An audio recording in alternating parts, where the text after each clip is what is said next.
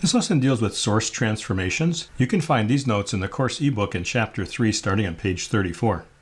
Since a Thevenin equivalent circuit and a Norton equivalent circuit can both represent the same circuit, is there some relationship between them?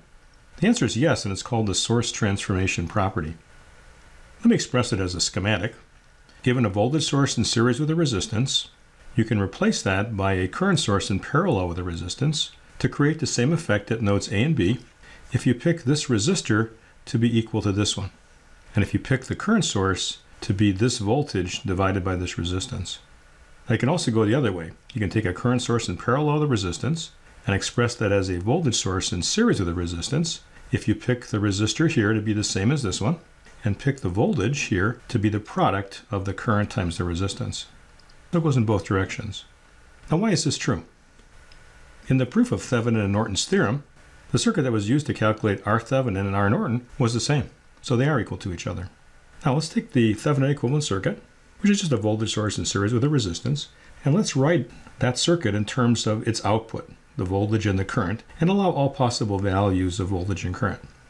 The rise in voltage would be V Thevenin, the drop would be I times R Thevenin, plus the voltage V. Let's solve for V. Put this on the other side of the equation as a minus I R Thevenin plus V Thevenin and then solve for i.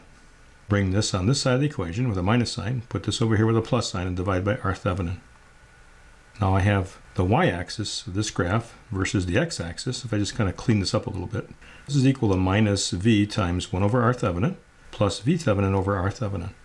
That's the equation of a straight line. Let's find the intercepts. When the voltage is equal to 0, the current is equal to v Thevenin over r Thevenin. That's this red dot over here. Let's go back to this equation. When the current is equal to 0, the voltage V is equal to V Thevenin. That would be the second point. All possible answers of V and I that are here fall on this straight line. Let's do the same for the Norton equivalent circuit. Let's solve for V and I in terms of the current source and the resistor. The current I sub n is entering the node. What's leaving the node is this current, which is V divided by R sub n plus I. Solve for I. So I is equal to I Norton minus V over R Norton. And that's the equation of the straight line where I is the y-axis and V is the x-axis. Find the intercepts. When V is equal to 0, I is equal to I Norton. That's this point right here. And when I is equal to 0, here, V is equal to R Norton times I Norton. For these two circuits to be equivalent, we're going to set this equal to the y-axis intercept in our previous calculation and do the same thing here for the x-intercept. Let's go back and look those would need to be. Those are going to be equivalent to each other. I'd have to pick I Norton to equal V Thevenin over R Thevenin and V Thevenin equal to I Norton times R Norton. That's written on the bottom of the page here. But those two equations are actually the same thing. Of course, we're on a straight line with the same slope, so that would make sense. It just shows us then that we're going to pick the Norton current by taking the voltage of our voltage source and dividing it by the Thevenin resistance. Or we'll calculate the Thevenin voltage as the Norton current times the Norton resistance. Now we can find R Thevenin, which is equal to R Norton, by doing series and parallel combinations.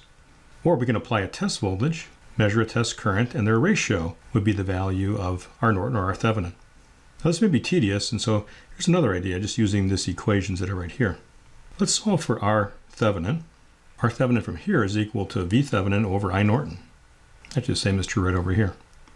V Thevenin divided by I Norton is equal to R Norton, which is R Thevenin. You could find the Norton resistance, which is equal to the Thevenin resistance, by taking the ratio of the open circuit voltage to the short circuit current. Sometimes this is easier to do because we are opening and shorting things. Now, source transformations are a very powerful analysis technique that allows us to take a large problem and reduce it to a much smaller one. Let me do an example. Suppose I have a voltage source, two current sources, and five resistors. Let's find the power absorbed by this 6 volt battery, which means I got to find the current in that direction, by using source transformations. So I don't really care what the rest of the circuit's doing, I just want to solve for a specific current. So I can reduce all of this to a much simpler circuit by using transformations. Let's see how we're to do that.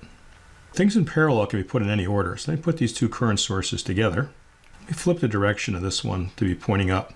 I would do that by changing the sign on it.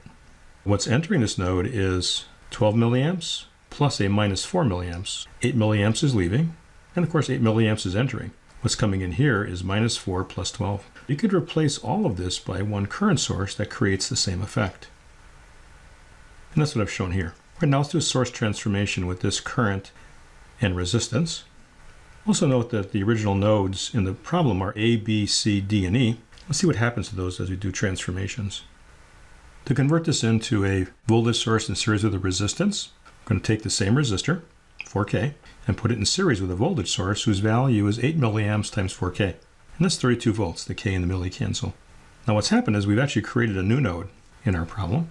I'm not going to label it with a letter, but just simply note that that is something that wasn't there originally. What I'm creating is an effect that's the same between C and D. That's what I can do if all I care about is this current.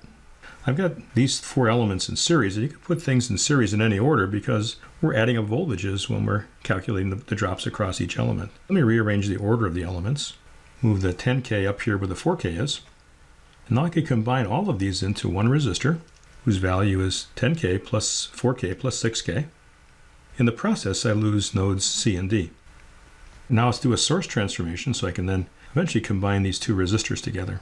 They're not in series or in parallel right now, but with a source transformation, I can actually do that, just like I did in this last case. Convert this into a current source, parallel with a resistance. The arrowhead points where the plus sign was. Current source is going to be 32 volts divided by 20K. It'll be 1.6 milliamps in parallel with 20K. Now I have these two resistors in parallel. I can combine them, take the product over the sum, and that turns out to be 12K. I can replace that with the 12K resistor in parallel with the 1.6 milliamps. Doing source transformation again, I can put this resistor in series with this one. So let's take a look at that.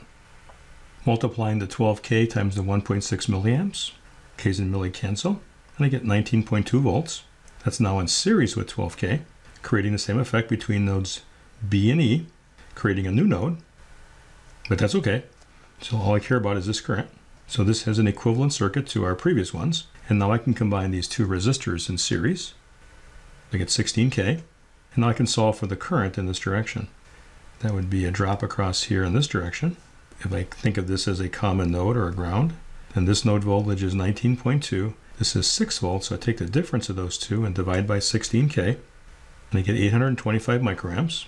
The current flowing into this plus terminal. So the power absorbed by the 6 volt battery is the product of 6 volts and 825 microamps, and that's 4.95 milliwatts. And this is source transformations and an example illustrating it.